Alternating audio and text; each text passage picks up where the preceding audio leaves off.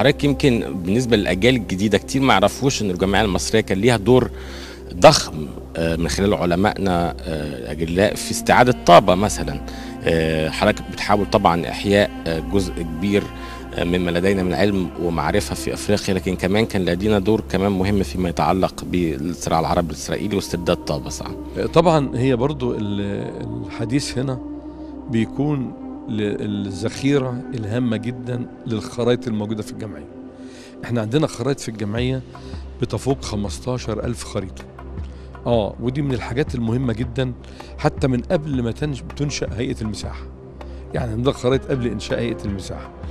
طبعا المهم هنا في النقطة دي إن حدود مصر اللي حددت كلها عندنا الحدود الشرقية والغربية والجنوبية. كلها من أصولها اللي قامت بالاتفاقيات اللي كانت موجودة والمعاهدات. فما تيجي دولة النهاردة تقول لا دي بتاعتي أو دي بتاعتي نقول لا تعالوا نرجع للخرائط الأصلية. وده برضو من الحاجات المهمة جدا في طابة. كان برضو في مشكلة عليها إسرائيل بتتكلم إن آه، طابة دي أصلا آه، آه، يعني ليست مصرية اللي أثبت ذلك خرائط الجمعية الجغرافية. الحقيقة أي قارئ أو أي باحث يريد أن يعرف تاريخ الخرائط أو تاريخ الإقليم نفسه بتاع الدلتا أو إقليم مصر الوسطى أو إقليم مصر العليا الخرائط كلها موجودة هنا.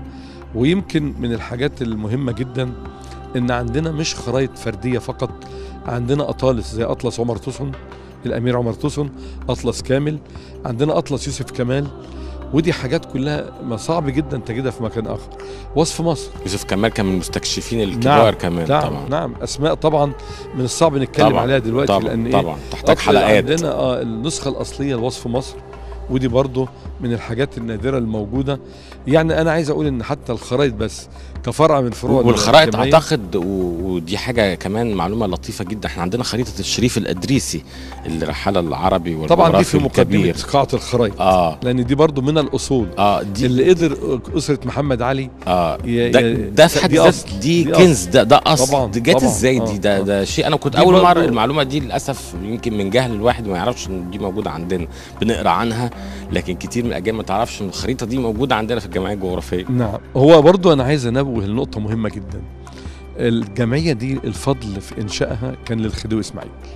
وأول من أدخل مادة الجغرافيا في التعليم العام الخديوي إسماعيل. لأنه مقتنعين جدا بالجغرافيا لأن الفترة اللي كان فيها اكتشاف منابع النيل وتقسيم مصر والكلام ده كله كانت الجمعية لها دور كبير جدا فيه. السويس والرابطة طبعا النقطة الثانية قناة السويس ويمكن عندنا قاعة اسمها قاعة قناة السويس فيها بانوراما وفيها مجسمات لقناة السويس مش موجودة في الهيئة. مش موجودة في الهيئة نعم ياه. يعني أنت ممكن بانوراما 6 أكتوبر إحنا كنا سباقين في بانوراما قبل 6 أكتوبر.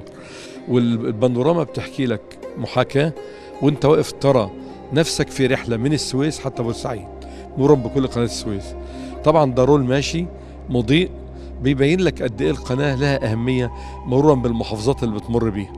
بتوري لك من أول مينة السويس لحد مينة بورسعيد بمراكبها اللي ماشية. طبعا ده قاعة جميلة جدا فيها الافتتاح بتاع القناة على هيئة ماكت جميل جدا أضيء.